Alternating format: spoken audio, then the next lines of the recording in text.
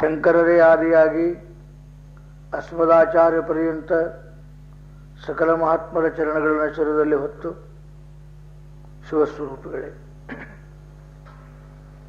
ಈ ಶ್ರಾವಣ ಮಾಸದ ಪರ್ವಕಾಲದಲ್ಲಿ ಸಿದ್ಧಾರೂಢ ಭಾರತೀಯ ಚರಿತ್ರ ಕಲ್ಪ ಧರ್ಮವನ್ನು ಶ್ರವಣ ಮಾಡ್ತಾ ಇದ್ದೇವೆ. ಇದು ಶ್ರವಣ ಆಪ್ಯಾಯಮಾನವಾಗಿರ್ತಕ್ಕಂಥದ್ದು. ಸಿದ್ಧಾರೂಢ ಚರಿತ್ರೆ ಅಂದ್ರನ ವೇದಾಂತ. ವೇದಾಂತ ಅಂದ್ರನ ಸಿದ್ಧಾರೂಢ ಚರಿತ್ರೆ. ಸಿದ್ಧಾರೂಢರು ಅಂದ್ರೆ ಯಾರು ಅಂತ ಕೇಳಿದ್ರೆ ಮಾತನಾಡಿದ ಬ್ರಹ್ಮ ಅಲ್ಲ ಒಂದು ದೇಹವನ್ನು ಧಾರಣೆ ಮಾಡಿಕೊಂಡು ತಿರುಗಾಡಿದ ವೇದಾಂತವರು ಅಂಥ ಮಹಾಪುಣ್ಯಾತ್ಮನ ಚರಿತ್ರಾಂತರಂಗದಲ್ಲಿ ನಿನ್ನೆ ಶ್ರವಣ ಮಾಡಿದ್ದೇವೆ. ಅವರು ಅಂತೂ ಇಂತೂ ಪ್ರಯಾಸಪಟ್ಟು ಪೂರ್ವ ಪುಣ್ಯದ ಬಲದಿಂದ ಗುರುಸ್ಥಾನವನ್ನು ಬಂದು ತಲುಪಿದ್ದಾರೆ. ಗಜದಂಡ ಸ್ವಾಮಿಗಳ ಸನ್ನಿಧಾನದಲ್ಲಿ ಬಂದು ಅವರು ಕೇಳಿದ್ದರಿಂದ ತನ್ನ ಪರಿಚಯವನ್ನು ಮಾಡಿಕೊಟ್ಟಿದ್ದಾನೆ. ಗುರುಗಳು ಚಾಣಾಕ್ಷರು, ಹಾಗಾದರೆ ನೀನು ಸೇವೆ ಮಾಡುವುದರಲ್ಲಿ ತನ್ಮಯನಾಗಬೇಕು. ಸೇವೆಯಲ್ಲಿ ನೀ ಯೋಗ್ಯ ಕಂಡಿ ಅಂದ್ರೆ ಮುಂದೆ ನಮ್ಮ ನಿಮ್ಮ ವ್ಯವಹಾರ. ಇದು ಇವತ್ತಿಂದಲ್ಲ, ನಮ್ಮ ಪ್ರಾಚೀನ ವೇದ ಕಾಲದಿಂದಲೂ ಕೂಡ ಗುರು ಶಿಷ್ಯನನ್ನು ಸ್ವೀಕಾರ ಮಾಡಬೇಕಾಗಿತ್ತು ಅಂದರೆ ಮೊದಲ ಹನ್ನೆರಡು ವರ್ಷ ಸೇವಾ ಮಾಡಬೇಕು ಅಂತಿತ್ತು. ಅದರೊಳಗೆ ಏನಾದರೂ ಅವನದು ಬರೋಬರಿ ಸರಿಯಾಗಿ ಉಳಿದಿತ್ತು ಸ್ಥಿತಿ ಅಂದ್ರೆ ಮುಂದೆ ಹದಿಮೂರನೇ ವರ್ಷಕ್ಕೆ ಅವನ್ನ ಶಿಷ್ಯ ಅಂತ ಸ್ವೀಕಾರ ಮಾಡಬೇಕು ಅಂತ ಇತ್ತು. ಈಗ ರಾಮಕೃಷ್ಣ ಮಿಷನ್ಗಳಲ್ಲಿನೂ ಕೂಡ ಸ್ವಾಮಿ ವಿವೇಕಾನಂದರು ಒಂದು ರೂಲ್ ಹಾಕ್ಯಾರ. ಸನ್ಯಾಸ ಕೊಡಬೇಕಾದ್ರೆ ಯಾರಿಗೆ ಕೊಡಬೇಕು? ಅದಕ್ಕೊಂದು ರಿಸ್ಟ್ರಿಕ್ಷನ್ ಅದು. ಅವನು ಬ್ರಹ್ಮಚಾರಿಯಾಗಿ ಮೊದಲು ಆಶ್ರಮದಲ್ಲಿ ದುಡಿಬೇಕು, ಕೆಲಸ ಮಾಡು.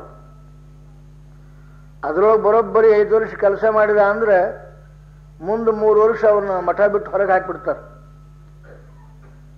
ಮಠ ಬಿಟ್ಟು ಹೊರಗೆ ಹಾಕಿದ್ರು ಸಂಚಾರ ಮಾಡಬೇಕು. ಈ ಮೂರು ವರ್ಷ, ಆ ಐದು ವರ್ಷ, ಅವನ ಕ್ಯಾರೆಕ್ಟರ್ ಬರೋಬರಿ ಉಳಿದಿತ್ತು ಅಂದ್ರೆ ಅವನಿಗೆ ಸನ್ಯಾಸ ಕೊಡಬೇಕು ಅಂತ ಬರೆದಿಟ್ಟಾರ ಇದ್ದು ಅದೇ ರೂಲ್ ನಡೆದು. ನಮ್ಮ ಹಂಗಲ್ಲಪ್ಪ. ಸನ್ಯಾಸ ಆಗ್ಬೇಕು ಆಗ್ಬೇಕು ಹ್ಞೂ ಆಗ್ಬೇಕು. ಸಾಧು ಆಗ್ಬೇಕು ಆಗ್ಬೇಕು. ಇವು ಆಗಬಾರ್ದು ಅಂತ ನಾ ಹೇಳೋಂಗಿಲ್ಲ ಕಾಯ್ದೆ ಅಲ್ಲ. ಗುರು ಶಿಕ್ಷಣನ ಸ್ವೀಕಾರ ಮಾಡ್ಕೋಬೇಕಾದಾಗ ಸೇವಾದಿಗಳನ್ನು ನೋಡಿ ಸ್ವೀಕಾರ ಮಾಡ್ಕೋಬೇಕು ಹೊರತು ಸುಮ್ಮನೆ ಮಾಡಬಾರ್ದು ಅಂತ ಹೇಳಿ ಗಜದಂಡ ಸ್ವಾಮಿಗಳು ಸಿದ್ದಪ್ಪನಿಗೆ ಹೇಳಿದರು, ನೋಡು, ಸೇವೆಯಲ್ಲಿ ನಿರತನಾಗಬೇಕು ಅಂದ ಕೂಡಲೇ ಯಾಕಾಗೋಲ್ಲು? ಮಾಡ್ತೀನಿ ಅಂತ. ಆದರೆ ಸೇವೆಯೊಳಗೆ ನೀನು ಇರುವಂತಿಷ್ಟು ಹೇಳಿದರು, ಒಳಗೆ ಹೋಗ್ಬಿಟ್ರು. ಉಳಿದವರಿಗೇನದಲ್ಲ ಇಲ್ಲಿ? ಅವನ ಕಡೆಯಿಂದ ಸೇವಾ ಮಾಡಿಸಿಕೊಡ್ರಿ ಅಂತ ಹೇಳಿದರು. ಅದು ಎಂಥ ಹೀನ ಸೇವಾ? ವಿಚಿತ್ರ. ಊಟ ಮಾಡಿದೇನು ಅಂತ ಯಾರೂ ಕೇಳಲಿಲ್ಲ ನೀರು ಕುಡಿದೇನು ಅಂತ ಯಾರೂ ಕೇಳಿಲ್ಲ. ಆರಾಮಿದ್ದೇನು ಅಂತ ಯಾರೂ ಕೇಳಿಲ್ಲ. ಬೆಸರಿ ಕುದುಟಮ ಯಾರೂ ಕೇಳಿಲ್ಲ ಅಂದ್ರೂ ಕೂಡ ಸಿದ್ದಪ್ಪ ಸೇವಾ ಬಿಡಲಿಲ್ಲ. ಈ ಕುದುರೆ, ಒಂಟೆ, ದನ, ಆಕಳುಗಳನ್ನು ಕಾಯೋರು ಅವ್ರು ಏನು ಮಾಡ್ತಿದ್ರು ಅಂದ್ರೆ, ತಮ್ಮ ಕೆಲಸ ಹಗರು ಮಾಡ್ಕೋಬೇಕಂತ, ತಮಗೆ ಕೊಟ್ಟು ರೊಟ್ಟಿ ಒಳಗೆ ಒಂದು ಅರ್ಧ ರೊಟ್ಟಿ ಕೊಟ್ಟು, ಇಡೀ ಕೆಲಸ ಪೂರ್ಣ ಮಾಡಿಸ್ಕೊಂತಿದ್ರು ಆದರೆ ಸಿದ್ದಪ್ಪನಿಗೆ ಅದು ಕೆಲಸ ಅನಿಸಲಿಲ್ಲ, ಅದು ಗುರು ಸೇವಾ ಅನಿಸ್ತು ಇದು ಬಹಳ ದುರ್ಲಭ. ಎಲ್ಲಿವರೆಗೆ ಜೀವಾಭಿಮಾನ, ದೇಹಾಭಿಮಾನ, ಇಂದ್ರಿಯಾಭಿಮಾನ ಅಂತಃಕರಣಾಭಿಮಾನ ಕಳ್ಕೊಳ್ಳಿಕ್ಕೆ ಬರುವುದಿಲ್ಲ ಅಲ್ಲಿವರೆಗೆ ಗುರುಚರಣ ಅನುಗ್ರಹ ಆಗುವುದಿಲ್ಲ. ಎಂಥೆಂಥವ್ರು? ಗೊಂದಾವಲಿಕರ ಬ್ರಹ್ಮಚೈತನ್ಯ ಮಹಾರಾಜರು ಸಣ್ಣವರಿದ್ದರು ಅವ್ರ ಮೊದಲನೇ ಹೆಸರು ಗಣಪತಿ. ಸಣ್ಣ ವಯಸ್ಸು. ಊರ್ ಹೊರಗೆ ಒಂದು ಹೊಲದಾಗ ತುಕಾಮಾಯಿ ಇರ್ತಿದ್ರು, ತುಕಾಮಾಯಿ. ಏನು ಇಲ್ಲಿ ಕುಂತರು ಕುಂತ, ಅಲ್ಲಿ ಕುಂತರು ಕುಂತ, ಅಲ್ಲಿ ಎದ್ರು ಎದ್ದ, ಇಲ್ಲಿ ಬಿದ್ರು ಬಿದ್ದ ಹೇಳಕ್ ಬರೋಂಗಿಲ್ಲ. ಅವನ ಸಮೀಪಕ್ಕೆ ಯಾರೂ ಹೋಗ್ತಿರ್ಲೂ ಇಲ್ಲ. ಆತು ಇಂಥ ಒಬ್ಬ ವ್ಯಕ್ತಿ ತತ್ವಜ್ಞಾನಿ ಅವ. ಆದ್ರೆ ಅವ ತತ್ವಜ್ಞಾನಿ ಅನ್ನೋದು ಬಹಳ ಮಂದಿಗೆ ಅರ್ಥ ಇಲ್ಲ. ಆದ್ರೆ ಬೆಂಕಿ ಇದ್ದಂಗೆ. ಸಮೀಪ ಯಾರೂ ಹೋಗೋಂಗಿಲ್ಲ. ಇವರು ಹೋದರು, ಸಣ್ಣ ವಯಸ್ಸು ಬಹಳ ಒಂದ್ ದಿವಸ ಹೋದರು ದೂರ ಕುಂತರು, ನಮಸ್ಕಾರ ಮಾಡಿದ್ರು, ಬಂದ್ರು. ಮತ್ ಮರುದಿವ್ಸ ಆದ್ರು ದೂರ ಕುಂತರು, ನಮಸ್ಕಾರ ಮಾಡಿದರು, ಬಂದರು. ನಾಲ್ಕೈದು ದಿವಸ ಹಿಂಗಾದ ಮೇಲೆ, ಯಾಕೋ, ಬಾಳ ಬರಕ್ ಹತ್ತಿದಿ, ಏನಾರ ಮಾಡ್ಬೇಕಂತೇನು ಅಂತ ಕೇಳಿದ್ರು. ಹ್ಞೂನ್ರಿ ಅಪ್ಪ, ಸೇವಾ ಮಾಡ್ಬೇಕಂತೀನಿ ಅಂದ್ರು ಗಣಪತಿಯಪ್ಪನವರು. ಸೇವಾ ಮಾಡ್ತೀವಿ ಅದು ನಿಮ್ಮಂಥವ್ರು ತ್ರಾಣಲ್ಲ ಹೇಳಿದ್ರು ನಿಮ್ಮಂಥವ್ರು ತ್ರಾಣಲ್ಲ ಅಂದ್ರೆ ಕೇಳಿಲ್ಲ ನೀವು ಮಾಡ್ತೀನ್ರಿ ಅಂತ. ಪ್ರಾಣ ಹೋದ್ರೆ ಹೋಗ್ಲಿ. ಮರದು ಸೇವಾ ಶುರುವಾತು.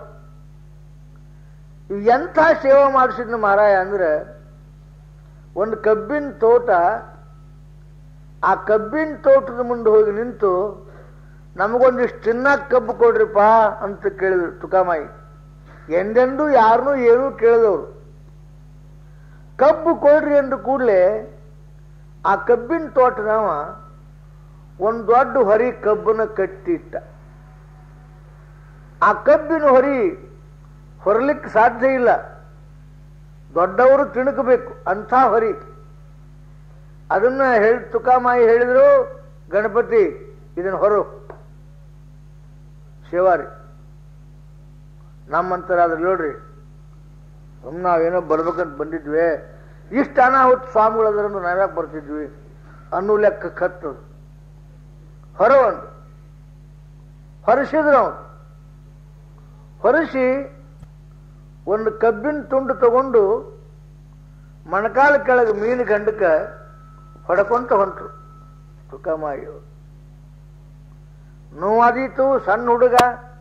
ಹ್ಯಾಂಗ ಹೊತ್ತಾನೋ ಇದು ಇಲ್ಲ. ನಾವು ಬ್ರಹ್ಮ ಚೈತನ್ಯರನ್ನ ಇತ್ಲಾಗ ನೋಡಿ ಕೊಂಡಾಡ್ತೀವಿ. ಒಬ್ಬ ಬ್ರಹ್ಮ ಚೈತನ್ಯ ಆಗಬೇಕಾದ್ರೆ ಏನು ದುಃಖ ಉಂಡ, ಹ್ಯಾಂಗ ಗುರುಕೃಪಾ ಪಡೆದ ಅಂಬುದ್ರ ಬಗ್ಗೆ ನಾವು ವಿಚಾರ ಮಾಡೋಂಗಿಲ್ಲ. ಸಿದ್ಧಾರೂಢರನ್ನು ಈಗ ನಾವು ದೊಡ್ಡವರನ್ನು ತಿಳ್ಕೊಂಡು ಅವ್ರ ಗುಣಗಾನ ಮಾಡ್ತೀವಿ. ಒಬ್ಬ ಸಿದ್ಧಾರೂಢ ಆಗಬೇಕಾದ್ರೆ ಅದರ ಹಿಂದೆ ಏನು ನೋವಿತ್ತು, ಅದನ್ನೇನು ಉಂಡು ಹೊರಗೆ ಬಂದರು. ನಮ್ಗೆ ಕಷ್ಟಪಡಕ್ಕೆ ಮನಸ್ಸಿಲ್ಲ. ಏನ್ರಿ? ಮಾತಾಡಕ್ಕೆ ಚಂದ ಮಾತಾಡ್ತೀವಿ ನಾವು. ಹೊಡಕೊಂತ ಹೋದ್ರು ಊರು ಮುಂದೆ ಹಳ್ಳ ಹಳ್ಳದಾಗ ಅದನ್ನು ಒಗಿಸಿದ್ರು. ಇಲ್ಲೇ ಒಗಿಯದು ಕಬ್ಬು ಒಗದು. ಕೂಡ್ರು. ಅಲ್ಲೇ ಆಕಳ ಕೈತನಲ್ಲ ಹುಡುಗ ಆ ಹುಡುಗನ ಎಳ್ಕೊಂಡ್ ಬಾ ಉಸುಗಿನಾಗ ತೆಗ್ ತೆಗಿ, ಅದರಾಗ ಅವನ್ನ ಹಾಕು, ಮ್ಯಾಲ ಉಸುಗು ಮುಚ್ಚು ಅದ್ರ ಮ್ಯಾಲ ಕುಂತು ಧ್ಯಾನ ಮಾಡು. ಪ್ರಾಣನ್ರಿ ಹಿಂಗೆ ಹೋಗ್ತದೆ ಅದು ಗುರುವಿನಲ್ಲಿ ವಿಶ್ವಾಸ ಏನು? ಗುರು ಅನೃತವನ್ನು ನುಡಿಯಲಾರ. ಗುರುವಾಕ್ಯ ವೇದವಾಕ್ಯಕ್ಕಿಂತಲೂ ಅಧಿಕ ಅಂಬುವ ದೃಷ್ಟಿಯಿಂದ ಏನ್ ಮಾಡಿದ್ರು? ಆ ಹುಡುಗನ್ ಎಳ್ಕೊಂಡು ಬಂದು ಉಸುಗಿನೊಳಗೆ ದೊಡ್ಡ ತೆಗ್ಗು ತೆಗೆದು ಆ ಹುಡುಗನ ಅದ್ರಾಗ ಹಾಕಿ ಮ್ಯಾಲ ಉಸುಕು ಮುಚ್ಚಿ ಅದ್ರ ಮ್ಯಾಲೆ ಧ್ಯಾನಕ್ಕೆ ಕುಂತ ತುಕಾಮಾಯಿ ದೂರ ಕುಂತಿದ್ರು. ಇನ್ನುಳಿದ ಹುಡುಗರು ಏನು ಮಾಡಿದ್ರು? ಊರಾಗ ಹೋಗಿ ಆ ತುಕಾಮಾಯಿ ಯಾರದೋ ಹುಡುಗನ ಕಡೆಯಿಂದ ನಿಮ್ಮ ಹುಡುಗನ್ನ ಉಸುಗಿನಾಗ ಹೂಳಿ ಮ್ಯಾಲ ಕೂಡ್ರಿಸ್ಯಾನ? ಸತ್ತ ನಿಮ್ಮ ಹುಡುಗ. ಜನ. ಕೊಡ್ಲಿ, ಕುಡುಗೋಲು, ಬಡಿಗೆ, ಗಿಡಿಗೆ ಎಲ್ಲ ತಗೊಂಡು ಬಂದ್ರು. ಈ ಧ್ಯಾನಕ್ಕೆ ಕುಂತಿದ್ನಲ್ಲಿ ಹುಡುಗ ಏನು ವಿಚಾರನ ಮಾಡಲಿಲ್ಲ. ಹಾಕಿ ಹೊಡೆದು ಹೊಡೆಯೋದು ಹೊಡೆಯೋದು ಅಂದ್ರೆ ಏನು? ಸತ್ತ ಅಂತ ಕೈ ಬಿಟ್ರು. ಅಲ್ಲಿ ತನಕ ಸುಮ್ಮನೆ ಕುಂತಾರೆ ಅವರು ತುಕಾಮಾಯಿ. ಆಮೇಲೆ ಎದ್ದು ಹೋಗಿ, ಯಾಕ್ರೋ ನಮ್ಮ ಹುಡುಗವ ಅವನ್ಯಾಕೆ ಹೊಡಿತಿದಿ? ನಿಮ್ಮ ಹುಡುಗ ನೀವು? ನಮ್ಮ ಹುಡುಗನು ಕೊಂದಾನ. ಯಾವ ಗ್ಯಾರಂಟಿ ಮ್ಯಾಗ ಹೇಳ್ತಿದ್ವಿ ಏ ಉಸುಗಿನಾಗ ಹುಗುದ ಮ್ಯಾಲ ಕುಂತಾನ. ಹೌದು ಕುಂದ್ರುವಲ್ನಕ್ಕೆ ಏನ್ ತಪ್ಪಾತು? ನಿನ್ನ ಮಗ ಸತ್ತಾನಂತೇನು ಗ್ಯಾರಂಟಿ? ನೋಡ್ರೆ ಹ್ಯಾಂಗ್ ಹೊಡೆದು ನೀನು? ಎಲ್ಲರಿಗೂ ಆಶ್ಚರ್ಯ. ಆತು ಉಸುಗ್ ತೆಗೆದ್ರು, ನೋಡಿದ್ರು, ಹುಡುಗ ಜೀವಂತಿದ್ದ ಎಚ್ಚರ ಆದ. ಕೇಳ್ತಾರೆ, ಸತ್ತಾನಂತ ತಿಳ್ಕೊಂಡಿದ್ದೀವಪ್ಪ ನಾವು ಅಂದ ಕೂಡಲೇ ಇಲ್ಲ. ಈ ಪುಣ್ಯಾತ್ಮನ ಹಸ್ತ ಸೋಂಕಿತು ಈ ತಗ್ಗಿನೊಳಗೆ ನಾನು ಬ್ರಹ್ಮಾನಂದದಲ್ಲಿ ಇದ್ದೆ, ನನಗೆ ಯಾಕೆ ಎಚ್ಚರ ಮಾಡಿದ್ರಿ? ಮತ್ತು ದುಃಖ ರೂಪವಾಗಿರ್ತಕ್ಕಂಥ ಜಗತ್ತು ಕಾಣ್ಲಿಕ್ಕೆ ಎತ್ತಿಲ್ಲ. ನಾ ಇದಕ್ಕೆಲ್ಲ ಮೀರಿರ್ತಕ್ಕಂಥ ಆನಂದದಲ್ಲಿ ಇದ್ದೆ. ಏನು ಕೆಲಸ ಕಳಿಸಿದ್ರಿ ಅಂದ ಹುಡುಗ. ಅವಾಗ ಎಲ್ಲರೂ ಹೋಗಿ ತುಕ ಮಾಯಿನ ಭಾಳ ಬೇಡಿಕೊಂಡ್ರು. ತಪ್ಪಾತ್ರಿ ನಂಬರು ಹಂಗೆ ಹಿಂಗಂದ್ರು ಶಣರಿದ್ರಿ ಇನ್ನೊಮ್ಮೆ ಯಾರನ್ನೂ ಹಂಗೆ ಹೊಡಿಬೇಡ್ರಿ. ಇಷ್ಟು ಹೇಳಿ ಕಳಿಸಿದ್ರು. ಅವ ಅವ ಗಣಪತಿ ಅಲ್ಲ, ಅವ ಸಾಮಾನ್ಯ ಅಲ್ಲ, ಅವ ರೋಮ ರೋಮದಲ್ಲಿ ಬ್ರಹ್ಮ ಚೈತನ್ಯವಿದೆ. ರೋಮ ರೋಮದಲ್ಲಿ ಬ್ರಹ್ಮ ಚೈತನ್ಯವಿದ್ದದ್ದರಿಂದ ಮೃತನಾದ ಜೀವನೂ ಕೂಡ ಅದು ಸಂಜೀವಿನಿ ಮುಟ್ಟಿದಂತೆ ಪುನಃ ಪ್ರತಿಷ್ಠಾನವಾಗುತ್ತದೆ. ಆದ್ದರಿಂದ ಇಂದಿನಿಂದ ಅವ ಗಣಪಲ್ಲ, ಅವ ಬ್ರಹ್ಮ ಚೈತನ್ಯ ಹೇಳಿದ್ರು ಇಷ್ಟು ಹೇಳಿ ಎಲ್ಲರನ್ನು ಕಳಿಸಿ, ಆಮೇಲೆ ಕೇಳಿದರು, ಏನೋ ಗಣಪತಿ, ನಿನ್ನ ಭಾಳ ಬಡಿದ್ನೇನು ನೀನು? ಬಹಳ ಬಡದ್ರೇನು ಹೌದ್ರಿ ಅಪ್ಪ, ಬಾಳ ಬಡದ್ರು ಅನ್ಲಿಲ್ಲ.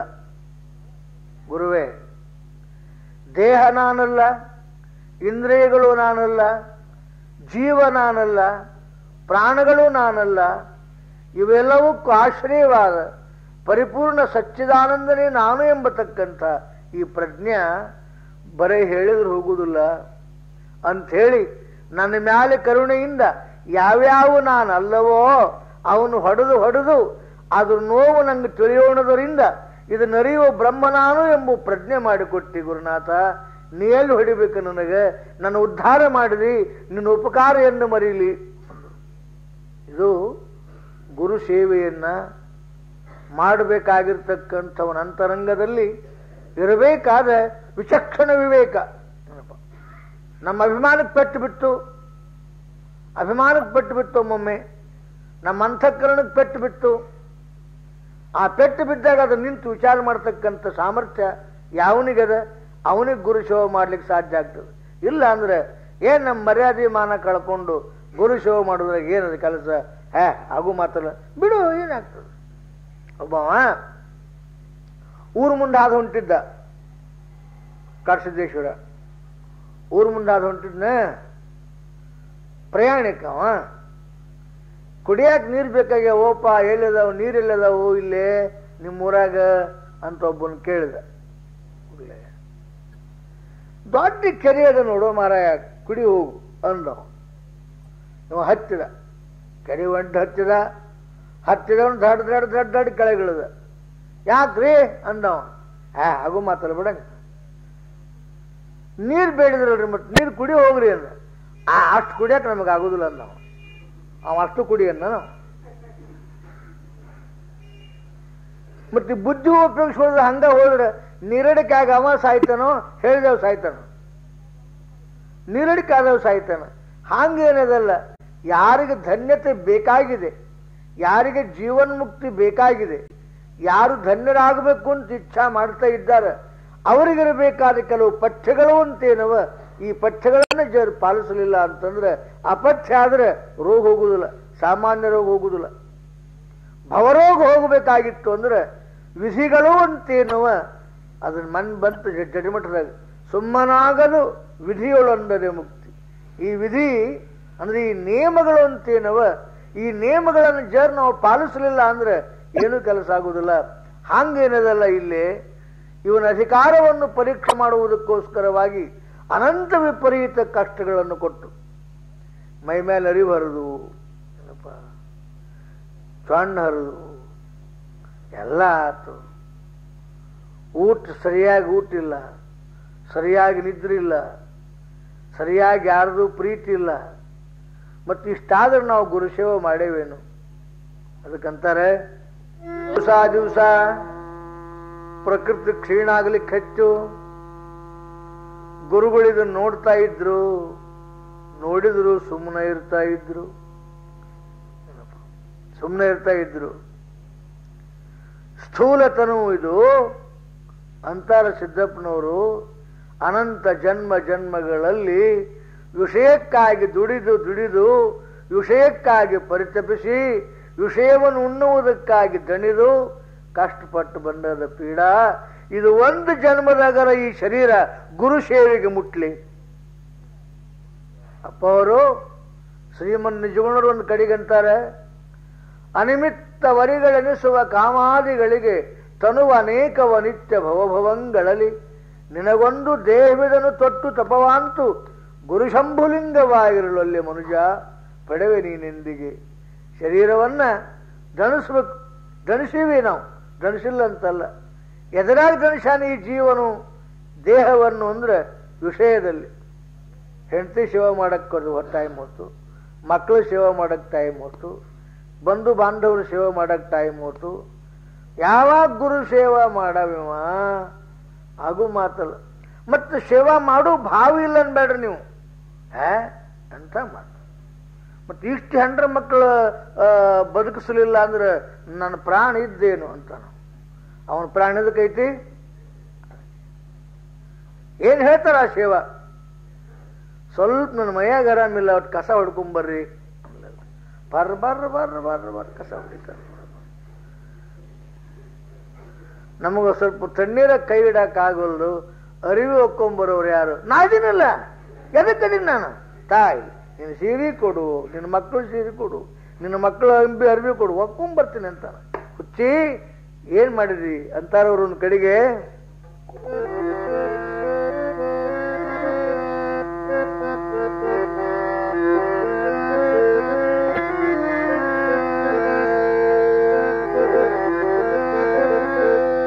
ಮಡದಿ ಮಕ್ಕಳಿಗಾಗಿ ದುಡಿದು ದುಡಿದು ಆದೆಲೆ ಮುದೆಗೂಗಿ ಮಡದಿ ಮಕ್ಕಳಿಗಾಗಿ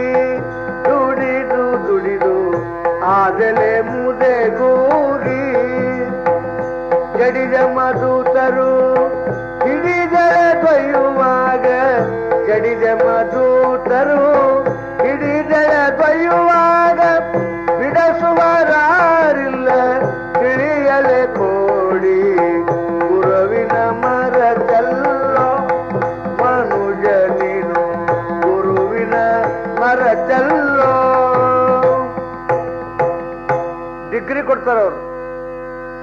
ಮಡದಿ ಮಕ್ಕಳಿಗಾಗಿ ದುಡಿದು ದುಡಿದು ಆದೆಲೆ ಮುದೆ ಗೂಗಿ. ಏ ಗೂಗಿ. ಎದಕ್ಕೆ ದುಡಿದಾದ್ಯೋ ಯಪ್ಪ. ನೋಡ್ರಿ, ಅಂತ ನೋಡ್ಬೇಕು. ಏನು ಘಟ್ಟ ಕಡ್ದನಪ್ಪ ಅನ್ನೋಂಗ. ಸರಿ ನೋಡ್ರಿ ನೀವು ಹೇಳ್ತೀನಿ.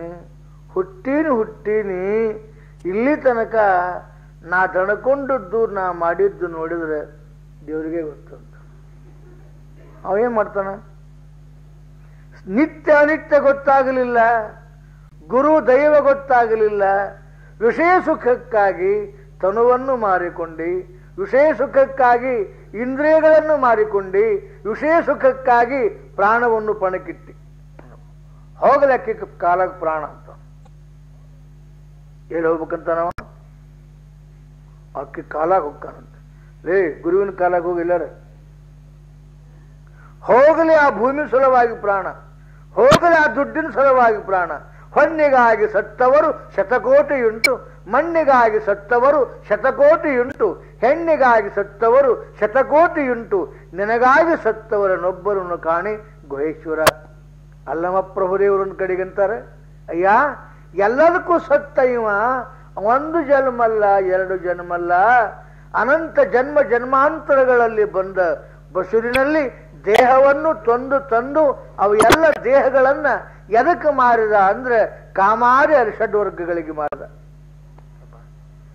ಮತ್ತ ಅದನ್ನು ತೆಗೆದು ಒಂದು ಕೊಡುವಂತಾರವರು ನಿನಗೊಂದು ದೇಹವಿದನು ತೊಟ್ಟು ತಪವಾಂತು ಗುರು ಗುರುಶಂಭುಲಿಂಗವಾಗಿರಲಲ್ಲಿ ಮನುಜ ಒಮ್ಮೆ ಈ ದೇಹವನ್ನು ಗುರುವಿಗೆ ಕೊಡೋ ಒಮ್ಮೆ ಈ ದೇಹವನ್ನು ಪರಮಾತ್ಮನಿಗಾಗಿ ಅರ್ಪಣೆ ಮಾಡು, ಒಮ್ಮೆ ಇದನ್ನು ಆಧ್ಯಾತ್ಮಕ್ಕಾಗಿ ಮೀಸಲಿಡು, ಧನ್ಯನಾಗ್ತಿದಿ. ಸುಮ್ಮನೆ ಈ ದೇಹವನ್ನ ಅನೇಕ ಜನ್ಮ ಜನ್ಮಾಂತರಂಗಳಲ್ಲಿ ಬಳಲಿಸಿಬಿಟ್ಟಿಪ್ಪ ಮಾರಾಯ. ಅಂತ ಹೇಳುವಂಗ ಸಿದ್ಧಾರೂಢಗನಿಸ್ತಿತ್ತು ಇಂಥ ಕಷ್ಟಗಳನ್ನು ಈ ಶರೀರ ಎಷ್ಟೋ ಜನ್ಮ ಜನ್ಮಾಂತರಗಳಲ್ಲಿ ಉಂಡದ. ಅದು ಎದಕ್ಕಂದ್ರೆ ಅನೃತವಾದ ಸುಖಕ್ಕೋಸ್ಕರವಾಗಿ ಶಾಶ್ವತ ಆನಂದವನ್ನು ಕೊಡುವ ಗುರು ಸಿಕ್ಕಾಗ. ಆಧ್ಯಾತ್ಮ ಮೂರ್ತಿಯೇ ಸಿಕ್ಕಾಗ. ತತ್ವಜ್ಞಾನಿ ಸಿಕ್ಕಾಗ. ಈ ಶರೀರಕ್ಕೆ ಮತ್ತೇನಾಗ ನಿನ್ನ ನೀನು ಅನಿಸುವಷ್ಟರ ಮಟ್ಟಿಗೆ ಸಿದ್ಧಾರೂಢರಿಗೆ ಅನಿಸ್ತಿತ್ತು ಪ ತನುವಿನ ಪರವೆ ಇಲ್ಲದೆ ಹಸಿವಿಗಂಜದೆ ದೈನ್ಯ ಭಾವದಲ್ಲಿ ಊಟ ಆತನಪ್ಪ ಸಿದ್ದಪ್ಪ ಯಾರು ಕೇಳಿದ್ರೆ? ಆತಲ್ರಿಪ್ಪ ಆಗಿರೋಂಗಿಲ್ಲ. ಯಾರು ಉಣ್ಣು ಬಾ ಅಂತ ಕರೆಯೋಂಗಿಲ್ಲ. ಉಂಡಿ ಏನು ಅಂತ ಕೇಳೋಂಗಿಲ್ಲ. ಏನಪ್ಪ? ಇಂಥ ಕಷ್ಟಗಳನ್ನು ಕೊಟ್ಟರು ಅಷ್ಟು ಕಷ್ಟಗಳನ್ನು ಕೂಡ ತಪಸ್ಸು ಅಂತ ಸ್ವೀಕಾರ ಮಾಡಿದರು ಸಿದ್ಧಾರೂಢ ಹೋಗಿ ನಿಲ್ರಿ ಅವ್ರ ಮುಂದೆ ಒಂದು ಈಟು ಗದ್ದಿಗೆ ಮುಂದೆ ಹೋಗಿ. ಎಲ್ಲ ಕಥೆ ನೆನಪಾಕ್ಕವು ಆ ದೇಹ, ಆ ಎಲವು ತೊಗಲು ಎರಡಿದ್ದ ಭಂಗಿ, ಅವನ ದೃಷ್ಟಿ ಅವನ ಮುಖದ ಸಾತ್ವಿಕ ಕಳೆ ಸಿದ್ಧಾರೂಢರ ಮೂರ್ತಿ ನೋಡಿದರೆ ಅದು ಏನೋ ಪರಿಣಾಮ ಆಗ್ತದೆ. ಯಾಕೆ ಪರಿಣಾಮ ಆಗ್ತದಂದ್ರೆ ಅಷ್ಟು ದುಡಿದು ಬಂದಿರತಕ್ಕಂಥ ಕಾಯ ಅದು, ಸಾಮಾನ್ಯ ಅಲ್ಲ. ಪ್ರಸಾದ ಕಾಯವಾಯಿತು. ಸಿದ್ಧಾರೂಢರು ಇದರಂತೆ ಏಳು ಎಂಟು ವರ್ಷ ಪರ್ಯಂತರು ಸೇವಾ ಮಾಡಿದರು. ಶಾಸ್ತ್ರ ನಡೀತಿದ್ದು ಮಠದಾಗ. ಅವ್ರ ಶಾಸ್ತ್ರ ಕೇಳು ಮಂದಿ ಬ್ಯಾರೆ. ಏನ್ರಿ? ಅವ್ರು ಬರೀ ಹಣ್ಣು, ಹಾಲು ತಿಂದು ಮಡಿ ಉಟ್ಕೊಂಡು ಅದು ಶಿಷ್ಯ ವರ್ಗ ಅಂತೇನಿತ್ತು. ಅವರು ದಿನ ಶಾಸ್ತ್ರ ಕೇಳೋರು. ಸಿದ್ಧಾರೂಢರು ಎಲ್ಲೋ ಒಂದು ಕಡೆಗೆ ಕುದುರೆ ಕಟ್ಟುವಲ್ಲಿ, ಆಕಳ ಕಟ್ಟುವಲ್ಲಿ ಹಿಂಗೆ ನಿಂತ್ಕೊಂಡು ಸುಮ್ಮನೆ ಕೇಳೋದು. ಗುರುಗಳಿಗೆ ಗೊತ್ತಾಗ್ತಿತ್ತು. ಪರಿಪಕ್ವ ಜೀವನ ಇದು ಅಂತ ಗೊತ್ತಾಗ್ತಿತ್ತು.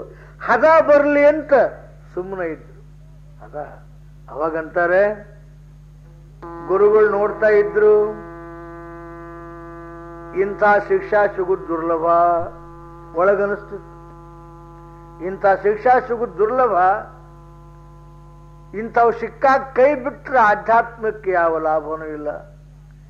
ಯೋಗ್ಯ ಗುರು ಸಿಗಬೇಕೆಂಬುದು ಶಿಕ್ಷಣ ಭಾಗ್ಯ ಎಷ್ಟು ದೊಡ್ಡದೋ ಅಷ್ಟು ಯೋಗ್ಯ ಶಿಕ್ಷಾ ಸಿಗುವುದನ್ನು ಕೂಡ ಗುರುವಿನ ಭಾಗ್ಯ ದೊಡ್ಡದಿರಬೇಕಾಗ್ತದೆ? ಎಲ್ಲೋ ಒಬ್ರು ಎಲ್ಲೋ ಒಬ್ರು ಸಿಗ್ತಾರೆ.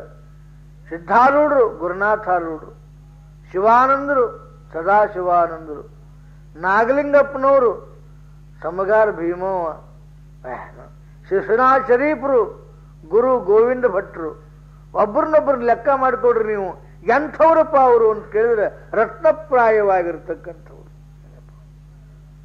ಯಾವಾಗ ಗೊತ್ತಾತು ಗುರುಗಳಿಗೆ? ಒಂದು ದಿವ್ಸ ಕರೆದ್ರು, ಸಿದ್ದಪ್ಪ, ಬಾಯ್. ಈಗ ಶಾಸ್ತ್ರ ನಡೀತಿದ್ದಲ್ಲ ಇಲ್ಲಿ ಬಂದು ನನ್ನ ಹತ್ತಿರ ಕೂಡ್ರು ಅಂದರು. ಎಷ್ಟು ಭಾಗ್ಯ ಆಗಿರ್ಬೇಕು ಅವಾಗ. ಗುರುಗಳು ಕೈ ಮಾಡಿ ಕರೆದ್ರು ಅಂದ್ರೆ ಏನಾಗಿರ್ಬೇಕು ಆನಂದ? ಬಾ, ಇಲ್ಲಿ ಕೂಡ್ರು, ಶಾಸ್ತ್ರ ಕೇಳು ಅಂತಂದ್ರು. ಅಲ್ಲಿಂದ ಸಿದ್ದಪ್ಪನವರು ಅದ ಹರಕಂಗಾಗನ ಹೋಗಿ ಸುಮ್ಮನೆ ಕುಂತ್ಕೊಂಡು ಶಾಸ್ತ್ರ ಕೇಳ್ತಿದ್ರು. ನಿಂತು ಕೇಳ್ತಿದ್ದ, ದನದ ಹಕ್ಕಿಯೊಳಗೆ ಕುಂತು ಕೇಳ್ತಿದ್ದ. ಈಗೇನಾಯ್ತು ಅಂದ್ರೆ ಆ ಸೇವೆಯ ಫಲ ಗುರುಗಳು ಆತನನ್ನ ಹತ್ತಿರ ಕರೆದು ಹೇಳಿ ಕತ್ತಿದ್ರು ಅಂತಾರೆ, ಕೆಲವು ದಿವಸ ಹಿಂಗ್ ನಡೀತು. ಒಂದು ದಿವಸ ಸುರಪುರ ಸಂಸ್ಥಾನದ ಆಸ್ಥಾನ ಪಂಡಿತ ಸುಬ್ಬಯ್ಯ ಶಾಸ್ತ್ರಿ ಎಂಬತಕ್ಕಂಥ ಮಹಾನ್ ವಾಗ್ಮಿ ಅವ ಆ ಗಜದಂಡ ಸ್ವಾಮಿಗಳ ಹತ್ರ ಅಮರನಾಥ ಕ್ಷೇತ್ರಕ್ಕೆ ಬಂದ. ಅಮರಗೊಂಡ ಕ್ಷೇತ್ರಕ್ಕೆ ಬಂದ. ಬರೋ ಮುಂದೆ ಏನು ತಂದಿದ್ದ ಅಂದ್ರೆ ನನ್ನಂತ ಪಂಡಿತರು ಯಾರು ಇಲ್ಲ ಅನ್ನೋ ಅಹಂಕಾರ ತಂದಿದ್ದವು. ಬರೀ ಪಾಂಡಿತ್ಯ ದೃಷ್ಟಿ ಗದ್ದಲ ಆಗ್ತದ್ರಿ. ದುಡಿಮಿರ್ಲಿಲ್ಲ ಅಂದ್ರೆ, ದಂಡನೆ ಇರಲಿಲ್ಲ ಅಂದ್ರೆ ಸಾಧನ ಸಂಪತ್ತಿ ಇರಲಿಲ್ಲ ಅಂದ್ರೆ ಬರೇ ಪಾಂಡಿತ್ಯ ಈ ಜಗತ್ತಿನೊಳಗೆ ತರ್ಕ ಮಾಡಬಹುದು ನಾವು, ವಿತ್ತಂಡವಾದವನ್ನು ಮಾಡಬಹುದು, ಜಯಪತ್ರವನ್ನು ಗಳಿಸಬಹುದು. ಎಂಥ ಪಂಡಿತ ಪೈವ ಅಂತನ್ನುವಷ್ಟು ಒಂದೇನೋ ಟೈಟ್ಲ್ ಪಡಿಬಹುದು ನಾವು. ಆದ್ರೆ ಅನುಭವ ಬರಬೇಕಾದ್ರೆ ಭಾಳ ಹಗರಿಲ್ಲ ಕೆಲಸ. ಅನುಭವ ಬರಬೇಕಾದ್ರೆ ದುಡಿಮಷ್ಟು ಪರಿಪಕ್ವನಾಗಬೇಕಾಗ್ತದೆ.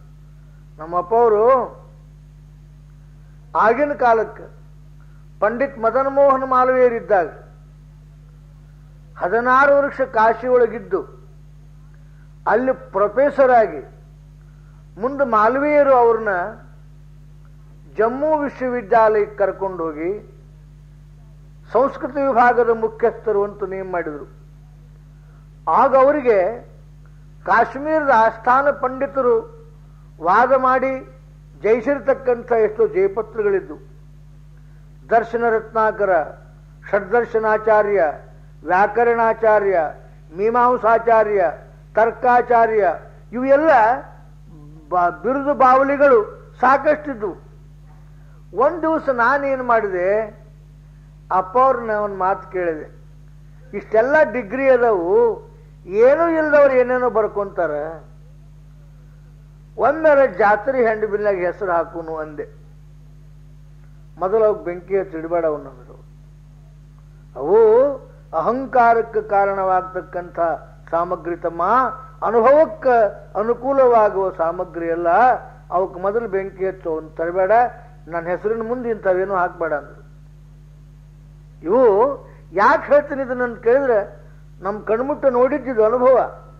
ಇಂಥ ದಿವ್ಯ ಪಾಂಡಿತ್ಯ ಇದ್ದಾಗ್ಯಾದ್ರೂ ಕೂಡ ಬೇಕಾದಷ್ಟು ಪ್ರಖರವಾದ ವಾಗ್ಮಿ ಇದ್ದಾಗ್ಯಾದ್ರೂ ಕೂಡ ಅಹಂಕಾರಕ್ಕೆ ಕಾರಣವಾಗುತ್ತದೆ ಎಂಬ ದಿಶೆಯಿಂದ ನಿರಾಕರಣ ಮಾಡಿದ್ರೆ ಹೊರತಾಗಿ ಅದನ್ನ ಇಟ್ಟುಕೊಳ್ಳಿಲ್ಲ. ಆದ್ರೆ ಕೆಲವ್ರಿಗೆ ಅದ ಉದ್ಯೋಗ ಆಗಿರ್ತದೆ. ನೋಡೋಣ ಸಭಾದಾಗ ಹೆಂಗ್ ಸೋಲಿಸಿದೆ ನೋಡೋನು ಹೆಂಗ್ ಮಾರಿ ಮ್ಯಾಕ್ ಎತ್ತಂಗ್ ಮಾಡಿದೆ. ನಿನಗೇನು ಬಂತು?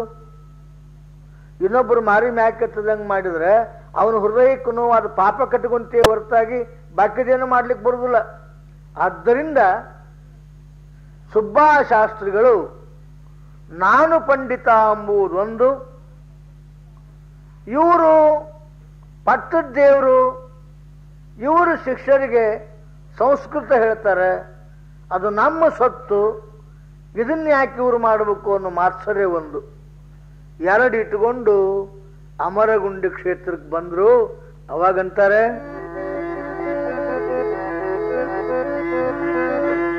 ಅಂದು ಶಾಸ್ತ್ರಿಗಳೇನು ಸ್ವಾಮಿ ಇಂದು ಶಿಕ್ಷರಿಗಾವ ಶಾಸ್ತ್ರವ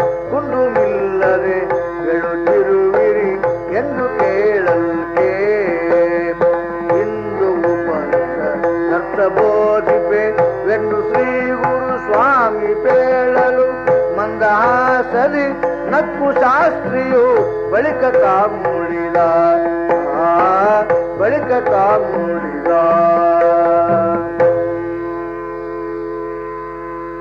ಶಾಸ್ತ್ರಿಗಳು ಬಂದು ಕುಂತರು. ಹ್ಯಾಂಗ್ ಕುಂತರು ಅಂದ್ರೆ ಸೂರ್ಯನ ಮುಂದೆ ದೀಪ ಕುಂತಂಗಾತಂತ ಅನುಭವಕ್ಕೂ ಪಾಂಡಿತ್ಯಕ್ಕೂ ಬಹಳ ಅಂತರದ ಬ್ರಹ್ಮವಿದ್ಯೆಗೂ ಕೇವಲ ಪಾಂಡಿತ್ಯಕ್ಕೂ ಬಹಳ ಅಂತರದ ಅನುಭವ ಇರಬೇಕು ಜೊತೆಗೆ ಅಪಾಂಡಿತ್ಯ ಇರಬೇಕು ಅಂದ್ರೆ ಅದು ಕಿಮ್ಮತ್ತು. ಅದಕ್ಕೆ ಶಾಸ್ತ್ರ ಶ್ರೋತ್ರಿಯ ಬ್ರಹ್ಮನಿಷ್ಠ ಗುರು ಇರಬೇಕು ಅಂತ ಯಾಕೆ ಹೇಳಿದರು? ಬರೀ ಶ್ರೋತ್ರಿಯತ್ವ, ಅದು ನಮಗೆ ಯಾವ ಜನ್ಮ ಕೊಟ್ಟು ಹೋಗುತ್ತೆ ಹೇಳಲಿಕ್ಕೆ ಬರೋದಿಲ್ಲ. ಬ್ರಹ್ಮನಿಷ್ಠತ್ವ ಇದ್ದದ್ದನ್ನು ಇನ್ನೊಬ್ರು ತಿಳಿಸ್ಲಿಕ್ಕೆ ಬರೋದಿಲ್ಲ. ಅದಕ್ಕೆ ಬ್ರಹ್ಮನಿಷ್ಠತ್ವ ಇದ್ದು, ಶ್ರೋತ್ರಿಯತ್ವ ಇತ್ತು ಅಂದರೆ ತಾನು ಪಡೆದ ಅನುಭವವನ್ನ ತನ್ನ ವೈಖರಿಯಿಂದ ಇನ್ನೊಬ್ಬರಿಗೆ ಉಪದೇಶ ಮಾಡುವ ಸ್ಥಿತಿ ಬರ್ತದೆ ಅಂತ ತಿಳ್ಕೊಂಡು ಹೇಳಿ ಶ್ರೋತ್ರಿಯ ಬ್ರಹ್ಮನಿಷ್ಠ ಗುರು ಇರಬೇಕು ಎಂಬುದಾಗಿ ಮಹಾತ್ಮರು ನಮಗೊಂದು ಶಾಸನವನ್ನು ಮಾಡಿದ್ದಾರಲ್ಲ. ಹಂಗ ಇಲ್ಲಿ ಗಜದಂಡ ಸ್ವಾಮಿಗಳ ಎದುರಿಗೆ ಕುಳಿತಿದ್ದಾರೆ ಸುಬ್ಬಯ್ಯ ಶಾಸ್ತ್ರಿಗಳು. ಅಹಂಕಾರಲೆ ಮಾತಾಡ್ತಾರೆ. ಯಾಕಾಸ್ಥಾನ ಪಂಡಿತ? ರಾಜಾಶ್ರಯ. ಅಂದ್ರೆ, ಏನು ಸ್ವಾಮಿಗಳೇ, ನಿಮ್ಮ ಶಿಕ್ಷರಿಗೆ ಯಾವ ಶಾಸ್ತ್ರ ಹೇಳಿ ಕತ್ತಿರೀಗ ಕೇಳಿದ್ರು. ಕೂಡಲ ಅವರಂದ್ರು, ಏನಿಲ್ರಿ? ಉಪನಿಷತ್ ಹೇಳಲಿಕ್ಕೆ ಹತ್ತೀನಿ. ಉಪನಿಷತ್. ಅದು ಶೂದ್ರಾದಿಗಳಿಗೆ ಹೇಳಲಿಕ್ಕೆ ಅಧಿಕಾರ ಇಲ್ಲಲ್ಲ? ನಮ್ಮ ದೇಶ ಹಿಂಗೆ ಬಂದದ ಪರೇ.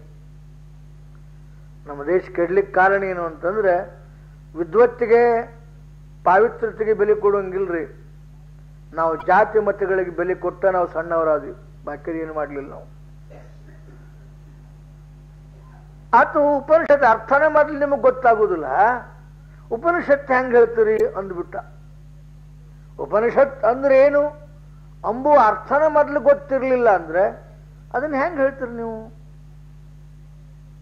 ಅದ್ಯಾಕೆ ಗೊತ್ತಾಗೋದಿಲ್ರಿ? ಅಂದರು ಗಜೇಂದ್ರ ಸ್ವಾಮಿಗಳು. ನಿಮ್ಮ ಶಿಷ್ಯರ ಕಡೆ ಹೇಳಿಸ್ರಿ ಹಂಗಾರ. ಕೂಡಲೇ. ಯಾವ ಶಿಕ್ಷವು ಅಂತವ ಉಪನಿಷತ್ ಏನು ಒಬ್ಬ ಅಂದ ಅದೊಂದು ದೊಡ್ಡ ಪುಸ್ತಕ ರೀ ಅಂದ ಗುರುಗಳು ಕಿಮ್ಮತ್ ಕಳೆಯವ್ರಿ ಕೂಡಲೇ ಕೂಡ್ರಪ್ಪ ಅಂದ್ರು. ಇನ್ನೊಬ್ಬ ನಾ ಹೇಳ್ತೀನಿ ತೋಳ್ರಿ ಅಂದ. ಉಪನಿಷತ್ ಅಂದ್ರೆ ಏನು ಅವು ಸಂಸ್ಕೃತದ ಕೆಲವು ಶ್ಲೋಕಗಳ್ರಿ ಅಂದೊಬ್ಬ ದಡ್ಡಾಗ್ರಗಣ್ಯ ಕೂಡ್ರಪ್ಪ ಮನೆ ಗುರುಗಳ ಮುಖ ಸಣ್ಣ. ಸಿದ್ದಪ್ಪಗರ ಏನೂ ಅಭ್ಯಾಸ ಹೇಳಿಲ್ಲ. ಸಿದ್ದಪ್ಪ ಸುಮ್ಮನೆ ಹತ್ರ ಕುಂತು ಕೇಳಿ ಕತ್ತಿ ಬಾಧಿಸನೂ ಆಗಿಲ್ಲ. ನೋಡ್ರಿ ನೋಡ್ರಿ, ಮತ್ತೆ ಯಾರು ಹೇಳ್ತಿದ್ರು ಹೇಳ್ರಿ, ಅಂದ್ರೆ ಸುಬ್ಬಯ್ಯ ಶಾಸ್ತ್ರಿ. ಅಂದ್ರೆ ಇವ್ರನ್ನ ಸೋಲಿಸಿ ಬಂದೆ ಅಂತ ಒಂದು ಹೆಮ್ಮೆ ಆಗಿರ್ಬೇಕು ಅವನಿಗೆ. ಈ ರೀತಿ ಬಂದಿದ್ದವ. ಗುರುಗಳು ಸುಮ್ಮನೆ ವಿಚಾರ ಮಾಡಿದ್ರು, ಏನು ಮಾಡಲಿ?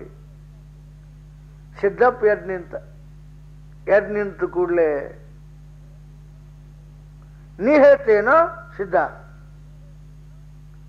ಗಜದಂಡ ಸ್ವಾಮಿಗಳು ಕೇಳಿದ್ರು, ನಾ ಹೇಳ್ತೀನಿ ಅನ್ಲಿಲ್ಲ ಸಿದ್ಧಾರೂಢರು ಇದು ಮಹತ್ವ. ನಾ ಹೇಳ್ತೀನಿ ಅನ್ಲಿಲ್ಲ, ಅಪ್ಪ, ನೀನು ಹೇಳು ಅಂದ್ರೆ ಹೇಳ್ತೀನಿ. ಅಂದ್ರೆ ನೀ ಹೇಳು ಅನ್ನುವುದೇ ಆಶೀರ್ವಾದ. ಅದು ಆದ್ಮೇಲೆ ಹೇಳುವುದೇನು ದೊಡ್ಡಗಲ್ಲ ಇಟ್ಸ್ ಗ್ಯಾರಂಟಿ ನೀನಾಗಿ ಹೇಳು ಅಂದ್ರೆ ಹೇಳ್ತೀನಿಪ್ಪ ಅಂದ ಕೂಡಲೇ ಹೇಳಂಗ ಹೇಳಂಗಾರ ಕೂಡಲೇ ಅವಾಗಂತಾರೆ, ಇತ್ತ ಕೇಳಿರಿ ಶಾಸ್ತ್ರಿಗಳೇ ನೀವು ಮತ್ತು ಉಪನಿಷತ್ ಶಬ್ದ ಕಂತಾಂ ನಿತ್ಯ ಬ್ರಹ್ಮಾತ್ಮೈಕ್ಯ ಬೋಧಕ ಬ್ರಹ್ಮ ವಿದ್ಯೆಯನು ಸತ್ಯದರ್ಥವೇ ಎಂದು ಬೇಳಲು ಮತ್ತೆ ಬಾಲನೆ ಅದಕ ವಿದ್ಯೆಯ ನುತ್ತಮತ್ತವ ಹೇಗೆ ಮಾಡಿರಿ ಎಂದನಾ ಶಾಸ್ತ್ರಿ ಆ ಎಂದನಾ ಶಾಸ್ತ್ರಿ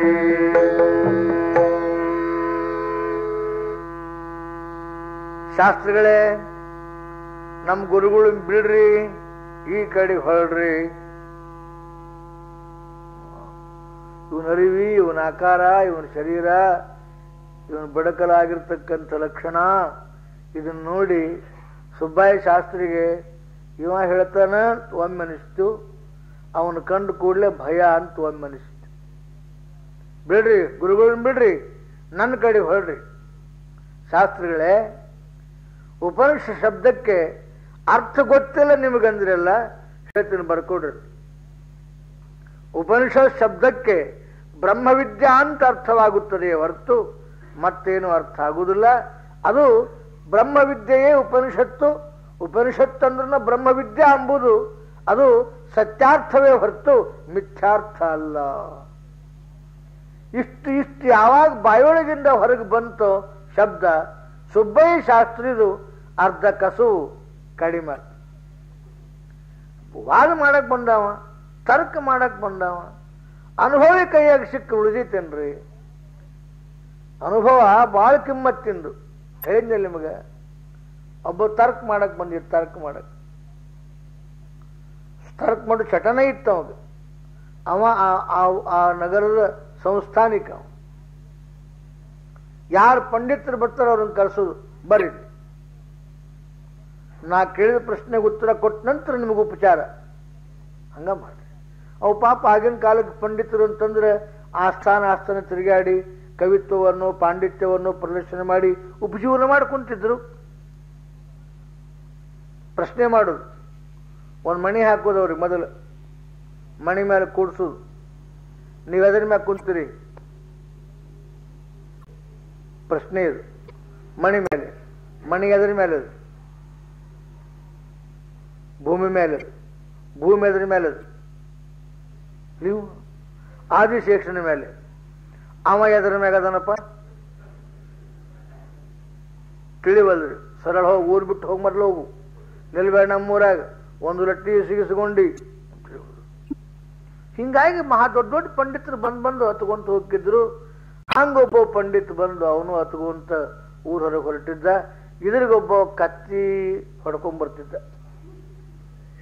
ಯಾಕ್ರಿ ಯಾಕೆ ಹತ್ಕೊಂತ ಹೊಂಟಿರಿ ಅಂತಂದ್ರು ಏ, ಅದು ತಗೊಂಡು ಏನ್ ಮಾಡ್ತೀವಿ, ನಿಂಗೇನ್ ಗೊತ್ತಾಗ್ತತಿ ಅಂದ್ರು. ನೋಡ್ರಿ, ಎಲ್ಲರಿಗೂ ಎಲ್ಲ ಗೊತ್ತಿರುವುದಿಲ್ಲ ಒಬ್ಬೊಬ್ಬರಿಗೆ ಎಲ್ಲ ಗೊತ್ತಿರ್ತದೆ, ಅದು ಹೇಳಕ್ ಬರುದಿಲ್ಲ. ಹೇಳ್ರಿ ನಮಗೊಂದಿಷ್ಟು ಯಾಕಂದ್ರೆ ನಾವು ಅದ ಊರಾಗ ಹೊಂಟಿವಿ ಈಗ ಅಂತಂದ. ಇಲ್ಲೋ, ರಾಜ ಪ್ರಶ್ನೆ ಮಾಡಿದ. ಏನ್ ದೊಡ್ಡಾಗದ್ರಿ ಯಾಕೆ ಹೆದರ್ತೀರಿ ನೀವು? ನಾನು ಕೂಡ ಬರ್ರಿ, ನಿಮ್ ಜಯಿಸಿ ಕೊಡ್ತೀನಿ. ಅಲ್ಲೋ ನೀ ಹಾವುಗಾರವ ನೀ ಹೆಂಗ್ ಜಯಿಸ್ತೀನಿ ಚಿಂತಿ ಬಿಡ್ಬರಿ ನೀವು. ಹೌದು, ಅರಮನೆ ಮುಂದೆ ನಿಂತ, ನಿಂತು ನಾವು ನಿಮ್ಮ ಪ್ರಶ್ನೆಗೆ ಉತ್ತರ ಕೊಡಕ್ ಬಂದೀವಿ ಅಂತ ಒಳಗೆ ಹೇಳಿ ಕಳಿಸಿದ್ರು. ರಾಜಾಗ ಆಶ್ಚರ್ಯ ಆಯ್ತು ಮತ್ತಾಕ್ ಬಂದ್ರಿ, ಪಂಡಿತ್ರ? ಇದು ನಮ್ಮ ಗುರುಗಳು ಕರ್ಕೊಂಡ್ ಬಂದಾರೆ ಅಂದ ಅವ. ನಮ್ಮ ಗುರುಗಳು ಕರ್ಕೊಂಡ್ ಬಂದಾರೆ ಅಂತಂದ. ನಿಮ್ಮ ಗುರು ನೀವು? ಹೌದು. ಆತು. ಮಣಿ ಹಾಕಿದ್ರು. ಮಣಿ ಮೇಲೆ ನಿಂತವ ಎದ್ರ ಮೇಲೆ ನಿಂತಿದೋ ಮಣಿ ಮೇಲೆ. ಮಣಿ ಎದ್ರ ಮೇಲೆ ಇದೆ? ಭೂಮಿ ಮೇಲೆ ಇದೆ. ಭೂಮಿ ಎದ್ರ ಮೇಲೆ ಇದೆ? ಹಾವಿನ ಮೇಲೆ ಇದೆ. ಹಾವು ಎದ್ರ ಮೇಲೆ ಇದೆ? ನಮ್ಮ ಕತ್ತಿ ಮೇಲೆ ಇದೆ ಅನ್ನೋ ಕತ್ತಿ ಮೇಲೆ. ಕತ್ತಿ ಎದ್ರ ಮೇಲೆ ಇದೆ? ಭೂಮಿ ಮೇಲೆ ಇದೆ. ಭೂಮಿ ಎದ್ರ ಮೇಲೆ ಇದೆ? ಹಾವಿನ ಮೇಲೆ ಇದೆ. ಹಾವು ಎದ್ರ ಮೇಲೆ? ನಮ್ಮ ಕತ್ತಿ ಮೇಲೆ. ಬೇಕಾದಷ್ಟು ಪ್ರಶ್ನೆ ಮಾಡಿ ಹೋಗು, ನಡಿ. ಹೀಗಾಗಿ ರಾಜ ಅಂದ, ಅವ್ರ ಗುರು ಹೌದನಿ ಅಂದ. ನಿನಗೆ ಬಹುಮಾನ ಏನು ಬೇಕು ಅಂದ? ಏನೂ ಬಹುಮಾನ ಬೇಡ, ಮೊದ್ಲ ಪಂಡಿತರು ಹೊಟ್ಟೆ ತುಂಬ ಊಟಕ್ಕೆ ಹಾಕ್ರಿ, ಬಹುಮಾನ ಕೊಡ್ರಿ. ನಾವು ಆಟ ಆಡ್ಕೊಂಡು ಊಟ ಮಾಡ್ತೀವಿ. ನಮ್ದೇನು ಚಿಂತಿಲ್ಲ. ಯಾರಿಗೂ ಹಿಂಗೆ ಪ್ರಶ್ನೆ ಇನ್ನೇ ಮಾಡಬೇಡ ಇಷ್ಟ ಹೇಳಂತ ಅಲ್ರಿ ನಿಮ್ಮ ಪಾಂಡಿತ್ಯ ಒಬ್ಬ ಕತ್ತಿ ಮೇಲೆ ಹಾವಿ ಹೊರ್ಕೊಂಬೋದು ಒಂದ್ ಕಡೆಗೆ ಅಂದ್ರೆ ಅದೆಂಥ ಪಾಂಡಿತ್ಯ? ಹಂಗ ತರ್ಕಕ್ಕಾಗಿ ಬರಬೇಕಾಗಿರ್ತಕ್ಕಂಥ ಏನು ಪಾಂಡಿತ್ಯ ಅದ, ಅದು ಅನುಭವದ ಕೈಯ ಕತ್ತ ಸಿಕ್ತು ಅಂದ್ರೆ ತುಂಡಾಗಿ ಹೋಗ್ತದೆ. ಅದಕ್ಕೆ, ಅಯ್ಯ, ಸುಬ್ಬಾಶಾಸ್ತ್ರಿ, ಬ್ರಹ್ಮವಿದ್ಯಾ, ಉಪನಿಷತ್ತು, ಎರಡಕ್ಕೂ ಒಂದೇ ಅರ್ಥ. ಅದಕ್ಕೆ ಹೇಳ್ತಾರವರು ಅಷ್ಟು ವಯಸ್ಸಿನೊಳಗ ಸಿದ್ಧಾರೂಢರು ಪಾಣಿನಿಯ ವ್ಯಾಕರಣವನ್ನು ಆಧಾರವಾಗಿಟ್ಟುಕೊಂಡು ಷಡ್ಲ ಧಾತುವಿನಿಂದ ವಿಶರಣ ಪ್ರತ್ಯಯಾತ್ಮಕವಾಗಿ ಉಪನಿಷತ್ ಎಂಬ ಶಬ್ದ ಉತ್ಪತ್ತಿ ಆಯಿತು ಎಂಬುವ ಶಬ್ದೋತ್ಪತ್ತಿ ಹೇಳ್ತಾ ಇದ್ದಾರೆ. ಅದು ಗೊತ್ತಾಗೋ ಮಾತಲ್ಲ, ಅದನ್ನ ಹೇಳೋಂಗಿಲ್ಲ ನಾನು. ಅಲ್ಲಿ ಉಪನಿಷತ್ತು ಇದರ ಅರ್ಥ ಏನು ಅಂದ್ರೆ, ಸಮೀಪ ಯಾವನು ಬರುತ್ತಾ ಇದ್ದಾನೋ, ಅಂದ್ರೆ ಗುರು ಸಮೀಪ ಯಾವನು ಬರುವುದರಿಂದ ಯಾವ ವಿದ್ಯೆಯ ಮುಖಾಂತರವಾಗಿ ಅವನ ಭವಹರಣವಾಗುತ್ತದೆಯೋ ಬ್ರಹ್ಮಜ್ಞಾನ ಪ್ರಾಪ್ತವಾಗುತ್ತದೆಯೋ ಆ ಜ್ಞಾನಕ್ಕೆ ಉಪನಿಷತ್ ಅಂತ ಕರಿಬೇಕು ಹೊರತಾಗಿ ಮತ್ತಿನ್ನೇನು ಕರಿಬಾರದು ಅಂದರು. ಸರಳ ಅರ್ಥ ಉಪ ಅಂದ್ರೆ ಸಮೀಪ. ನೀ ಪದವನ್ನು ಸ್ವಲ್ಪ ಅವಲೋಕನ ಮಾಡಿಕೊಂಡಿದ್ದಾದ್ರೆ ಯಾವ ತೊಂಪದ ತತ್ತೊಂಪದ ಶೋಧಕನಾಗಿರ್ತಕ್ಕಂಥ ಅಧಿಕಾರಿಯು ಗುರು ಸಮೀಪ ಬಂದಾಗ ಯಾವ ವಿದ್ಯೆಯಿಂದ ಇವನ ಜನ್ಮ ಮರಣ ಭಯ ಹರಿದು ಹೋಗುತ್ತದೆಯೋ ಯಾವ ವಿದ್ಯೆಯಿಂದ ಅತ್ಯಂತ ದುಃಖ ನಿವೃತ್ತಿ, ಪರಮಾನಂದ ಪ್ರಾಪ್ತಿ ರಕ್ಷಣಾತ್ಮಕವಾಗಿರ್ತಕ್ಕಂಥ ಮೋಕ್ಷ ಪ್ರಾಪ್ತವಾಗುತ್ತದೆಯೋ ಅದಕ್ಕೇನು ಕರಿಬೇಕು ಅಂದ್ರೆ ಉಪನಿಷತ್ತು ಅಂತ ಕರಿಬೇಕು, ಅದಕ್ಕೆ ಬ್ರಹ್ಮವಿದ್ಯಾ ಅಂತ ಕರಿಬೇಕು. ಇದು ಜಾತಿಗೆ ಸಂಬಂಧ ಅಲ್ಲ, ಅಧಿಕಾರಿಗೆ ಸಂಬಂಧ ಅಂತ ಹೇಳಿದೆ. ಜಾತಿಗೆ ಸಂಬಂಧ ಅಲ್ಲ, ಅಧಿಕಾರಿಗೆ ಸಂಬಂಧ. ಬಟ್ ನೋಡ್ರಿ ನೀವು ಸಾಧಾರಣ ನಾ ಹೇಳಬಾರ್ದು ಅವನ್ನ ಹೇಳೋದು ಪಜಿತಕ್ಕತಿ ಭಾಳ ಗೊಂಡ್ಲದವು ಈಗ ಭಾಳ ಮಂದಿ ಗೋತ್ರ ಪಾತ್ರ ಹೇಳ್ಕೊಂತಾರಲ್ಲ ಅದ್ರಾಗ ಒಬ್ಬರು ಚಲೋ ಜಾತಿಯವರಿಲ್ಲ ಆ, ನಮ್ದು ವಿಶ್ವಾಮಿತ್ರ ಗೋತ್ರ ವಶಿಷ್ಠ ಗೋತ್ರ ನಮ್ಮದು ಆ ಗೋತ್ರ ಈ ಗೋತ್ರ ಅಂತಾರಲ್ಲ ಆ ಆ ಗೋತ್ರದಾಗ ಹುಟ್ಟಿದವರು ಸ್ವಲ್ಪ ವಿಚಾರ ಮಾಡ್ಕೊಂತ ತೋರಿ ಆ ಯಾವನು ಗೋತ್ರ ಅಂತಾರ ಆ ಹುಟ್ಟಿದ್ದು ವಿಪರೀತ ಅವ್ ಬೆಳೆದದ್ದು ವಿಪರೀತನ. ಅದಕ್ಕೆ ಅವ್ರು ದೊಡ್ಡವರಲ್ಲ ಏನು ಅಂದ್ರೆ ಮಹಾತ್ಮರು ಸತ್ಪುರುಷರು. ವಶಿಷ್ಠನಂತ ಬ್ರಹ್ಮಜ್ಞಾನಿ ಹುಟ್ಟುವುದಿಲ್ಲ. ವ್ಯಾಸನಂತ ಬ್ರಹ್ಮಜ್ಞಾನಿ ಹುಟ್ಟುವುದಿಲ್ಲ. ಪರಂತು ಅವ್ರ ಹುಟ್ಟಿನಿಂದ ಏನೂ ಅಲ್ಲ. ಬಾಳನೆ ಪಟ್ಟುಕೋಬೇಕು. ಹಂಗ ಶಾಸ್ತ್ರಿಗಳೇ, ನೀವು ಇದು ಜಾತಿವಾಚಕವಾಗಿರ್ತಕ್ಕಂಥದ್ದು, ಜಾತಿಗೆ ಸಾಧ್ಯವಾಗಿರ್ತಕ್ಕಂಥದ್ದು ಅಂತೇನಂದ್ರಿ? ಅದನ್ನ ಹಿಂತಕ್ಕೊಳ್ರಿ. ಯಾವನು ಮುಕ್ತನಾಗಬೇಕು ಅಂತ ಅಪೇಕ್ಷೆ ಮಾಡುತ್ತಿದ್ದಾನೋ ಅವನೇ ಉಪನಿಷತ್ತಿಗೆ ಅಧಿಕಾರಿಯಾಗುತ್ತಾನೆ. ಯಾವನಿಗೆ ನಿತ್ಯ ಅನಿತ್ಯ ವಸ್ತುವಿನ ವಿವೇಕ ಬರುತ್ತದೆ, ಯಾವನಿಗೆ ಭವದುಃಖ ಪರಿಣಾಮವಾಗಿ ಇದು ಬೇಡ ಅಂತ ಯಾವನಿಗೆ ಅನಿಸದ, ಯಾವ ಧನ್ಯನಾಗಬೇಕು ಅಂತ ಇಚ್ಛಾ ಮಾಡ್ಯಾನ, ಯಾವ ಗುರುಶೋಧನೆ ಮಾಡಿ ಮುಕ್ತನಾಗಬೇಕು ಅಂತ ಇಚ್ಛಾ ಮಾಡ್ಯಾನ, ಅವನೇ ಮಾತ್ರ ಈ ಬ್ರಹ್ಮವಿದ್ಯೆಗೆ ಅಧಿಕಾರಿಯ ಹೊರತಾಗಿ ಉಳಿದವರು ಅಧಿಕಾರಿ ಅಲ್ಲ ಅಂದು ಕೂಡಲೇ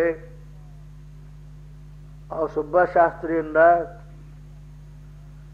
ಗಜದಂಡ ಸ್ವಾಮಿಗಳೇ ಎಂಥ ರತ್ನ ಜೋಪಾನ ಮಾಡಿರಿಪ್ಪ ಅವು ಮೊದಲು ಹೇಳಿದು ಪುಸ್ತಕ ಅಂದದು, ಮಂತ್ರ ಅಂದದು, ಅವು ನಿಂತ್ಕೊಂಡ್ಬಿಟ್ಟ ಗೊಪ್ಪನು. ಇವು ಏ ಅವ ಅಲ್ಲಿ ಕುದುರೆ ಕಟ್ಟ ನಿಲ್ತಿದ್ದ ದಿವಸ, ನಿಂತು ನಿಂತು ಕೇಳಿ ಹಂಗಾಗ್ಯಾನ. ಮತ್ತೊಬ್ಬ ಅಂದ ಮತ್ತೊಬ್ಬ ಅಂದ ಹುಚ್ಚ, ಅವತಾರಿ ಪುರುಷ. ಅವತಾರಿ ಪುರುಷ. ಎಲ್ಲರಿಗೂ ಈ ವಿದ್ಯೆ ಬರ್ಲಿಕ್ಕೆ ಶಕ್ತಿ ಇಲ್ಲ. ನಾವಿಷ್ಟು ಗುರುಗಳ ಹತ್ರ ಕುಂತ್ಕೊಂಡು ಸಂಸ್ಕೃತ ಪಾಠ ಮಾಡಿದ್ವಿ ಸಂಪ್ರಾಪ್ತೆ ಸನ್ನಿಹಿತೆ ಕಾಲೇ ನಹಿನೇ ರಕ್ಷತಿ ಡುಕೃಂಕರಣೆ ಅಂದ್ರು ಜಗದ್ಗುರು ಶಂಕರಾಚಾರ್ಯರು. ಐದು ವರ್ಷದ ಭಾದ್ರ ಏನು ಅಭ್ಯಾಸ ಮಾಡಿರ್ಬೇಕು ಬಾಲಶಂಕರ? ದೊಡ್ಡ ಒಬ್ಬ ವಯಸ್ಸಿನವ್ರು ಹೇಳ್ತಾರೆ, ಏನು ಮಾಡಕತ್ತಿದಿ ಅಂತಂದ್ರ, ವ್ಯಾಕರಣ ಓದಕತ್ತೀನಿ ಅಂತಂದ, ಸಂಪ್ರಾಪ್ತೆ ಸನ್ನಿಹಿತೆ ಕಾಲೇ ನಯನೇ ರಕ್ಷಿತ ಡುಕ್ರುಂಕರಣೆ ಮರಣ ಸಮೀಪ ಆದಾಗ ನೀನು ವ್ಯಾಕರಣ ಮಾಡಿದ ಉತ್ತ ಭಜಗೋವಿಂದಂ ಗೋವಿಂದಂ ಭಜ ಗೋವಿಂದಂ ಭಜ ಮೂಢಮತೆ ನಂಗೆ ಇಲ್ಲಿ ತಯಾರಿ ಅಂತಃಕರಣ ಅಂತ ನೋಡಿದು. ಬಹುಜನ್ಮದ ತಯಾರಿ ಆಗಿರ್ತಕ್ಕಂಥ ಅಂತಃಕರಣ ಸಿದ್ದಪ್ಪನದು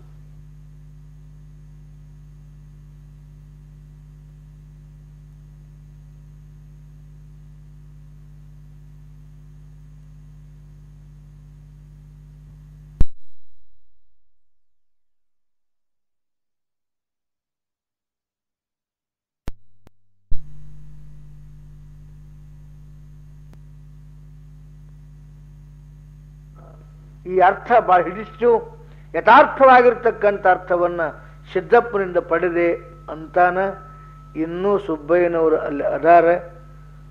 ಗಜೇಂದ್ರ ಸ್ವಾಮಿಗಳ ಹತ್ರ ಸಿದ್ದಪ್ಪನವರು ಅದಾರ. ಗಜೇಂದ್ರ ಸ್ವಾಮಿಗಳು ಅದಾರ. ಅವ್ರು ಏನೇನು ಮಾತಾಡಿದರು ಏನಾಯ್ತು ಅನ್ನೋ ವಿಷಯ ನಾಳೆ. ಇಲ್ಲ, ನಾಳಿಲ್ಲ.